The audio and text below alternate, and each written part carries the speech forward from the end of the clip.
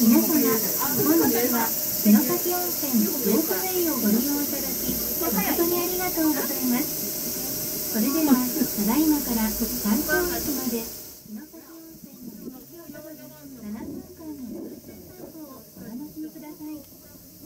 豊岡市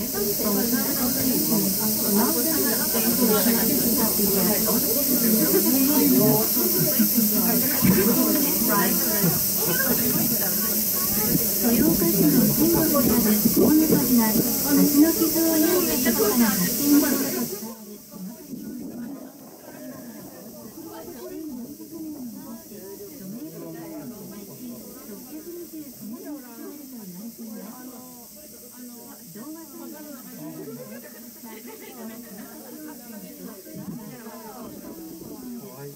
わる城崎温泉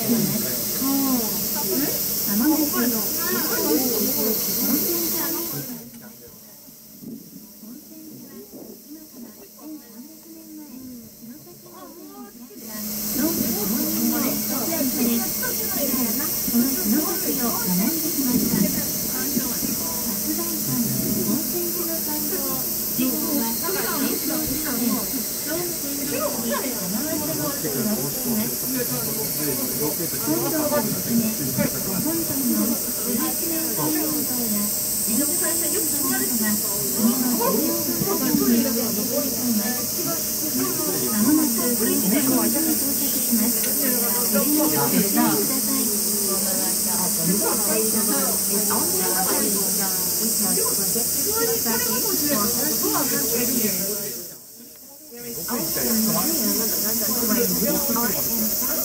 着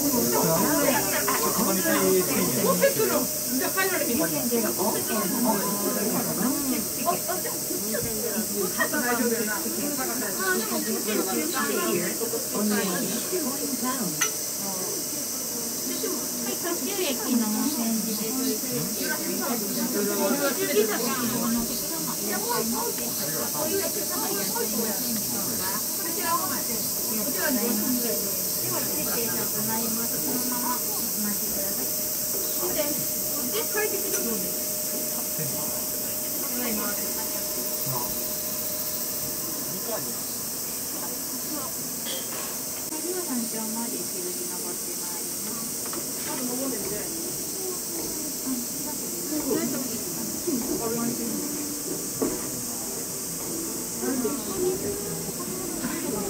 温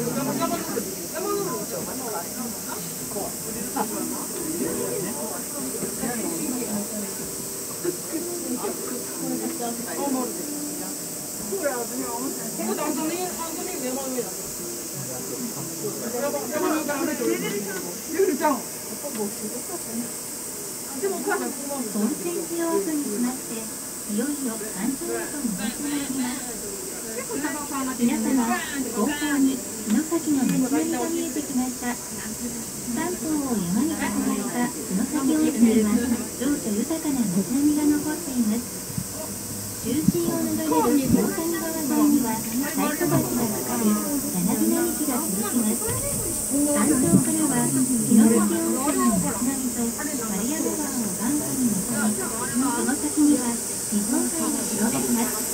その中には、旅行ガイドブック、ミシュラン、グリーンサイドジャポンに、一つ星として掲載され、海外からもたくさんのお客様が訪れます。この城崎温泉を含めた丹後半島の小谷崎から鳥取砂丘にまたがる広大なエリアは大雲海岸ジオパークとしてユネスコ世界情報に認定されていますまもなく山頂駅に到着です山頂にはリラックスカフェやガーデン温泉地の奥の湯などがあり時間とともに変化していく風景を眺めながらゆったりと過ごしていただけます We are almost at Mountain Top Station. The sky view from here was awarded a Michelin star. の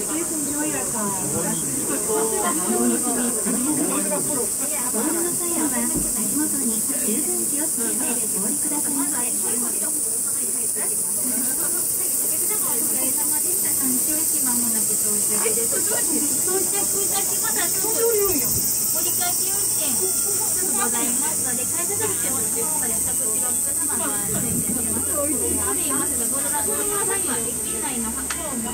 つけてお降りくださいませ。駅まもなく到着です。到着いたしまだちょっと折り返し運転ございますので、改札口を地方まで着地がお客様が失礼いたします。ある言いますが、ご覧の今、駅内のホーム、階段ついてます方は、ぜひご注意ください。次の発車の時間を案内いたします。こちらで発車2時30分、2時50分、3時10分、20分になります。しばらく途中で折り返し、二輪がございます場合は、お手元の放送で、あの、いたします。改札出てから3時間経ちました始まりますから、ご注意ください。お茶にお客さんから拝見いたしますので、え、これ降りんの？最終関係がございます。どうぞ進みながらお進みください。到着です。最初はご来店ます快走！